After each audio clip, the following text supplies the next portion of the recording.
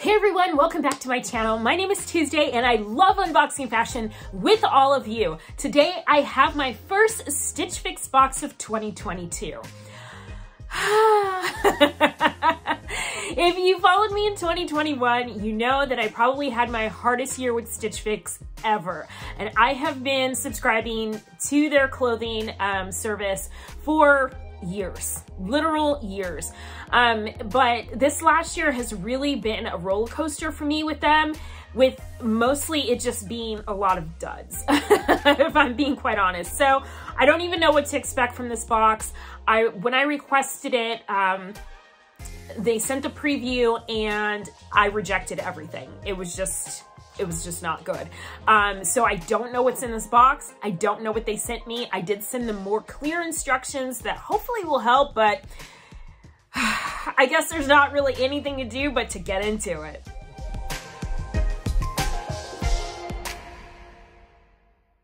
All right, first things first, if you're not familiar with Stitch Fix, it is a styling service uh, where you fill out a questionnaire and then they will send you five pieces for you to try on in the comfort of your own home with things you already have in your closet. Uh, shipping is free both ways. There is a, I believe there's a $25 styling charge on this box. I get confused. I have a lot of boxes. But anyways, I think this one's $25, but it is uh, credited towards anything you decide to purchase in that box. Now, I have a Style Pass membership, so my fee has been waived. I just pay a flat fee for the year, um, which is totally fine. Um, this box, I didn't ask for anything particular when I started, um, but after I got the preview and everything was terrible, uh, I left them an additional note that said, hey, this is my style. Like I reiterated what my style was. I told them, hey, like I'm, I am kind of leaning into the cozy life because it's January. And here are some of my style icons, like people that I'm taking cues from right now. And the two people that I listed were Harry Styles and Victoria Beckham. And that is 100% true. I love their style. I feel uh, very inspired by what they wear and um, have pinned several of their outfits to boards on Pinterest because I just enjoy um, that kind of relaxed, edgy, rocker vibe that they both present. So that's what I put in my note let's see what actually came, okay? Uh, the first item they sent me was a pair of earrings. They're by uh, Stella and Ruby. Here they are here. Hopefully you can see those. And it's just like a floral drop or stars, maybe, a drop earring here. Um, I like the fact that they're a little bit larger because I do like a larger earring just because I have big short hair and so a bigger earring tends to um, flatter my face a little bit more. I don't know if these are particularly something I would get into, but I'll give them a shot. Okay, so that's the first item. The next item is this crop tee in kind of a oatmeal color. Um, it's not the most flattering neutral for me because it's not very warm. This is a very cool tone tan, um, but it's kind of a heathered, um, heathered beige, maybe. Yeah. Um, it's got a pocket on the front. It does have like a cutoff bottom and a cutoff sleeve. There are some details on it that are kind of nice. This has a double, a double hem neckline and then that double hem is also on the pocket there. So that's the second piece. The next item in the box is this striped sweater with a puff sleeve on it. You guys know I love a good sleeve.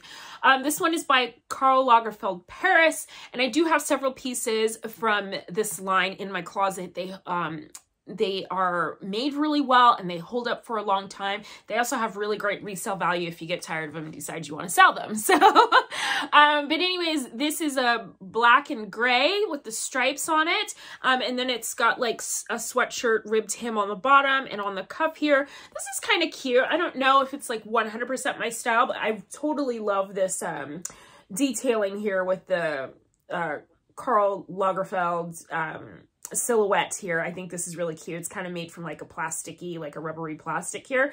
That's really cute. So I'm looking forward to this. Next up is a pair of wide leg pants in a heathered blue. Um, when I read through my note from my stylist, she mentioned that she picked these for me because she saw where I had mentioned I uh, like the style of Harry Styles. And so she said she looked him up and she was like, yeah, I see he wears a lot of wide leg pants. So I wanted to send you a pair. And so she sent me these. I believe these pants are like the long version of a cropped pair that I got over the summer from Stitch Fix. They look very similar. They have the same vibe with this, um, with this patch front pocket here and then the belt that loops through that pocket right here and the double button on the front, which it's not an actual fly. These are an elastic waist pants, so you just pull them on. But the ones that I have are a really pretty kind of coral color, and I love them. I wear them like all the time. Um, but this looks like a long version of those. It has that same wide, uh, wide seaming for the hem and um, same kind of lightweight feel to them. I think it's like a linen blend or something like that. And then the back pockets. So this could be a winner. The final thing in this box is actually a pullover, which is not really my jam, but okay. Here it is. Um, and if you, y'all, you know, follow me, you know, there's nothing about this that feels like Tuesday. It has kind of a little bit of a Fair Isle feel to it, but okay. It's like a Sherpa. I believe it's by North Face. And I'm going to be honest with you guys. I'm pretty sure that the reason they sent me this piece is because the North Face is a new label for them, if I'm not mistaken. And so they're probably just sending like a North Face piece to everybody because not only is this by the North Face and not really my style, but it's also a little bit pricey. We'll get to the pricing though um, when we get to the recap. Okay, those are the five pieces in the box. Let's do a try on so that you guys can really get a chance to uh, see each one of these pieces and we can talk through a little more. I want to start with the Karl Lagerfeld sweater. Okay, I had high hopes for this sweater um, because I really just love this label. However, it didn't quite work out as well as I wanted it to, and let me tell you why. Um, mostly it's the striping for me. It just makes me look very wide and boxy, which is something I don't really need. Um, perhaps if it was striped differently, it would have been better because I own plenty of striped shirts. I particularly like like a black and white classic stripe. Um, but I think it's the contrast of colors plus the fact that um, they go all the way across the arm and the body with the contrasting. I don't know. Something about this just makes me feel very, very boxy. The other problem that I have with this shirt is that the sleeves are just a little bit too short for me. Um, so unless I'm going to be wearing them pushed up all the time, that's going to be a problem. And I talked about this in my last video uh, that I did with Fashion about the sleeves and me having a long arm span. So if, you know, they fall at a certain point, then I just look like uh, very lanky, like my uh, bottom of my arm is just kind of sticking out of the sweater. And that's how I feel with this one. That being said, um, on somebody else, I think this would be really great. I love the kind of 80s vibes that I'm getting from this. It has that like old man sweater kind of feel to it, except they've made it feminine with this puff sleeve, which is very on trend right now. Um, and I love the colorway on this. I think I think if this had just been a slightly different design, I would have really loved this sweater. Okay, let's talk about these pants. These are a keeper for me. First of all, they're long enough, which is something that like never happens. I have a 33 inch inseam, which makes finding pants a little bit difficult for me. Usually they're either too long or too short and I just kind of have to adjust. But these are perfect. Um, plus they're this great kind of linen linen fabric or linen blend. Um, and the pants that I have that are, are like this, that are cropped, I wear them all year long, um, just because of obviously the weather conditions that I have here in Southern Arizona. These are going to be so perfect. I love that they have a kind of denim feel to them, but not quite as heavy or um, structured, I guess. Um, so there's going to be a lot of things that I compare these up with. I love the waist on these. Super, super comfortable. Um, the, um, the tie on here really helps to define the waist. Um, I find that on my other pair of pants that are like this, um, they just, I don't know, it just helps, it just helps with the visuals. So I love these pants. They're super comfortable. There's nothing about them I don't love. I uh, really like that the patch pocket is um, blended into the rest of the fabric here, so it doesn't add any bulk, like visually, to the hip or the the um, or the waist. So yeah, these are great pants. Sorry they're wrinkled in the video, but I will tell you these are a keeper for me. Okay, let's move on to this um, this t-shirt. This is by Threads for Thought, um, and they sent this to me in a large. Okay. There are some really cute details on this top. Like I said before, the double, uh, the double layered hem here and on the pocket as well. That being said, there's not enough details on here to make this shirt like worth purchasing. Um, one other thing that I will note is that the tag here says it is responsibly made from sustainable fabrics, which is a bonus in my book. But I mean, if I really wanted to be sustainable, I would go to the thrift store. I would buy a t-shirt. I would crop it like this and crop the sleeves and not buy something new. That's what I would do. Like, I don't, I can't justify buying this, this shirt at all. Um, I could literally just rip off a shirt from my, you know, uh, husband's wardrobe and, and have the same shirt and, and not have like, you know, created more more to add to the world's clothing. Um, so anyways, the other thing I don't like is this pocket. Um, if you're somebody who's busty like I am, you know that a lot of times adding pockets can just add bulk to the chest. And when you're already larger, you don't want anything that's going to visually add more bulk. And that's exactly what this pocket does. Um, if I was even going to consider this shirt, it would have to have no pocket on it. I have nothing against the crop. It actually crops at a really nice place for me. And I do have shirts that I have cropped um, for the reason of, of um, having that visual waistline. It just brings the eye up. It makes me look a little bit leaner. You can see my whole, um, you can see my whole leg and I like my legs are one of my best assets. So I love to show off like how long they are and having a cropped top can help that visual. I also love to wear uh, crop tops over a collared shirt where the shirt is a little bit longer and, and falls out underneath the uh, t-shirt. So I do that a lot as well. But yeah, I'm not paying for this. Okay, can I please tell you that I'm a little bit surprised by this uh, Sherpa hoodie? Wow. okay, let me just tell you what I don't like so we can get that out of the way because there's not a lot. I'm, I'm not a fan of the colorway, okay? I don't really love this pattern. Um, if this was in a solid color or, I don't know, some like some other pattern, I might have actually considered this. Okay, let me get to the good stuff here.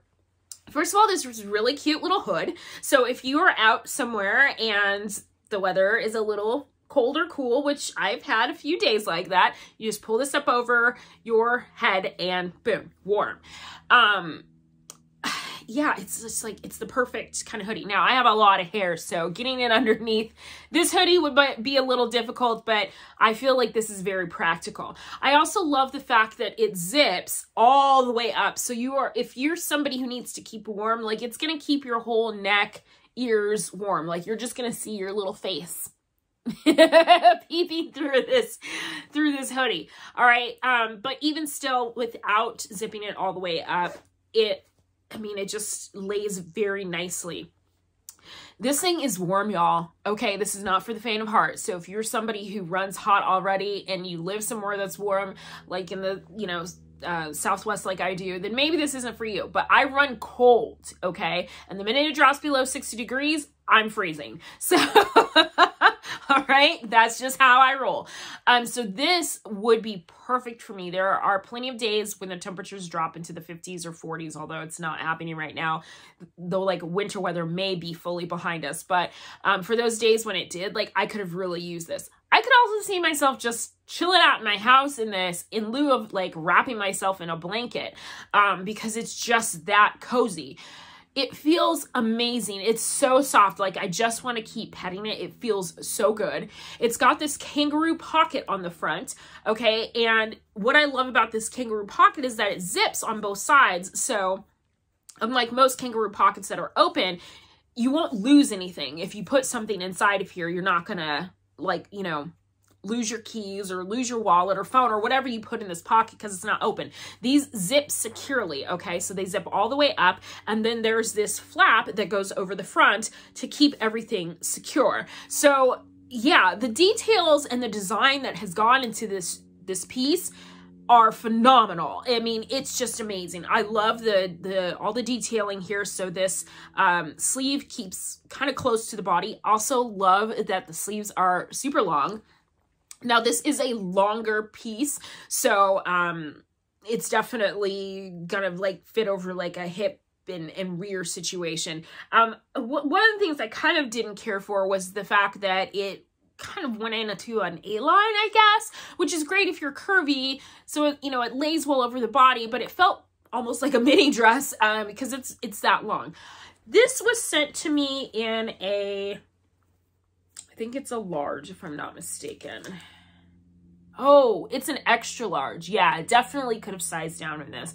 Uh, a large would have been plenty big enough. This is, yeah, this is definitely too big for me. Um, but I appreciate the fact that like you could have layered a sweater underneath this and been comfortable, but like I'm never going to need to be that that that warm unless I was traveling. Um, so for my life, what I would probably do is just put on a t-shirt or a bodysuit like I have on today underneath this. Um, and a large would have been plenty big enough. So um, that's why this one looks so oversized on me because it's it's a size too big. A large would have been fine. Um, there's so many great details about this. I know I'm kind of gushing over this, over particularly over a piece that I was like, mm, yeah, I'm not going to like this.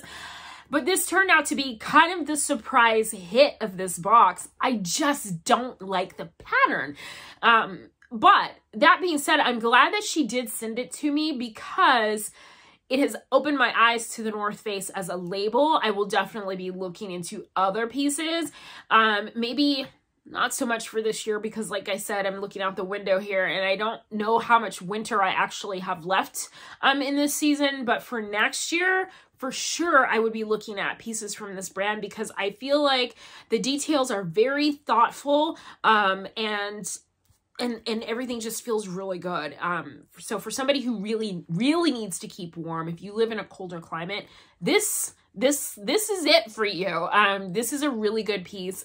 Um, if you're going to travel somewhere where it's going to be colder, yeah, and like I said, I would have never considered the North Face as a brand because I think of them as being very outdoorsy and a little granola and those are not two things that are synon synonymous with Tuesday. So uh, I definitely wouldn't have considered them, but uh, my eyes have been opened. Okay, I threw these earrings on really quick. I don't think you'll really be able to see them in the camera that well, but um, they're cute. They're fine. Yeah. Um, they're not like making me jump up and down or anything. I think you can see them better on the on the card there. Um, yeah, they're fine. I, you know, I'm a hoops girl. Um, and I do have, I mean, I have a, I have a, a good collection of earrings, but, um, 90% of the time I am wearing my hoops. Um, the other 10% I'm wearing my statement studs, probably because I'm out somewhere where I need to be wearing my mask for an extended period of time and don't want to get them caught in my hoops. And so I've gotten a little bit picky about earrings um, just because I don't see the point in, you know, adding to my collection if I'm not going to be um, actively wearing them. So these are cute. There's nothing wrong with them. I just don't know that I'm like 100% in love with them. So there's that. Okay, that's everything in this box. I'm going to put my earring back in. Um, I think it's time for a recap. What do you guys think? Let's do it. All right, so it is the next day after I recorded this video. I woke up this morning and went to do the editing and somehow I had lost the recap, like the whole end of the video was just not there. So I have to re-record it. Oh, the other thing is that uh, I of course packaged everything up because once I recorded the video and I tried everything on, I, I was like, very sure about what I was keeping and what I was not keeping. So I checked out and I put everything back in the bag and then I set it out for um, the post office pickup. So it is now outside my house waiting for a pickup, like all sealed. And I was like, oh crap, like I need to, I need to re-record. um, and I don't have the items. So I found pictures of all of the things and I will put them up right here so you guys can see uh, what it is that I'm talking about as we do this recap. All right, let's jump in. We'll start with the Karl Lagerfeld Paris Jolena French Terry knit top. Um, it's in uh, dark gray and black. They sent me a size large. It uh, did run true to size. The cost is $68. Okay, I think that's a great price for that piece. Um, that particular label, just is just really nice, um, nicely made, and the pieces are just really great. I have several in my closet. I think I mentioned that already in this video. Um, and so I, I, I'm, I'm okay with the pricing. My problem was, of course, that it just made me feel really boxy and wide, and I think it has something to do about the contrasting striping. I'm not quite sure, but something about it just felt very wide on me, and so I didn't really love it. Um, also, didn't really love the fact that the sleeve was just a little bit shorter than I would like it to be. Otherwise, a really great top that uh, little insignia in the corner though I thought is just a really great uh, touch that they added to that piece and so overall I really like the piece just not for me. Next is the Stella and Ruby Desi Floral Drop Earring. Uh, they are $36. I won't be keeping these earrings. They're cute enough or whatever, but at $36, I just don't really need them. Um, I didn't love them enough, I guess, to add them to my collection, but they're cute earring, and I think they were, um, I think they were on point with the vibe that I was asking for, so credit to Mary, the stylist, for, um, for giving it some thought and, and doing the things. Next is the Mason and Belle Melanie Utility Wide Leg Pant. Uh, it's in a blue, it's a size large, and they are $44. First of all, $44 is a steal as far as I'm concerned. The large does run true to size. These are the long sleeve, or sorry, long um, the long, like the pant version of the crops that I bought over the summer. I love them. I don't have anything to complain about them. Um, they're perfect. I'm, I'm very excited to, to wear them. As a matter of fact, I did decide to keep them and they're in my washing machine as I speak. Next is the North Face Campshire 2.0 Sherpa pullover. Um, it's in a tan print. They sent me an extra large and it is $159. Okay, the extra large was too big for me. A large would have been fine. Um, the $159, I see exactly where every dollar is. this is a well-made item. The details are very thoughtful. Um, so this is something where I think it's worth the cost um, of owning it your price per wear, I'm guessing, is going to get really small over time just because it looks like something that's going to last you a long time, something you're going to get a lot of wear out. It's super cozy, so comfy.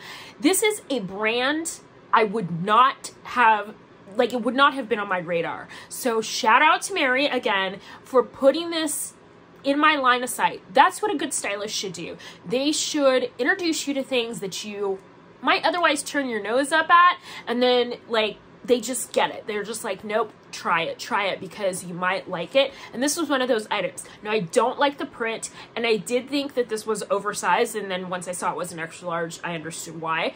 Um, I didn't like the print, but I definitely would consider this brand, and I might have even considered this particular piece in a smaller size and a solid color um, like in a solid solid colorway. And then the final piece in the box was the Threads for Thought Maggie Tri-Blend Cropped Tee.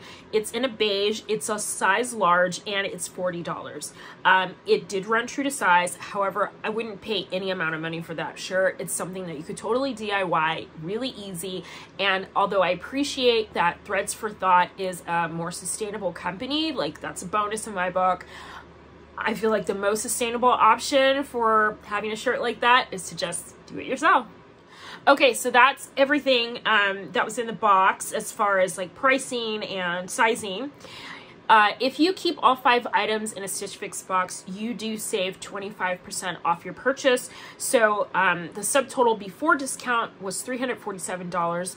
The discount would have saved you $86.75, of course, if you were keeping all the pieces. And then that would make the subtotal 260.25 and then of course you have to add on ship or not shipping uh, tax um, if there's sales tax in your state.